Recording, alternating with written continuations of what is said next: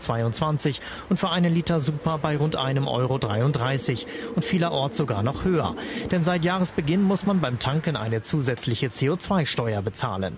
Etwa 7 Cent mehr kostet nun der Liter, zumindest derzeit. Eigentlich hätte es einen Kostenschub von 10 bis 11 Cent je Liter geben müssen. Die Benzin- und Dieselpreise sind aber nur über den Jahreswechsel um jeweils 7 Cent gestiegen. Das heißt, dass im Wettbewerb der Tankstellen untereinander die höheren Kosten nicht voll an die Autofahrer weitergegeben worden sind. Schon jetzt ist der Anteil der Steuern am Diesel- und Benzinpreis enorm.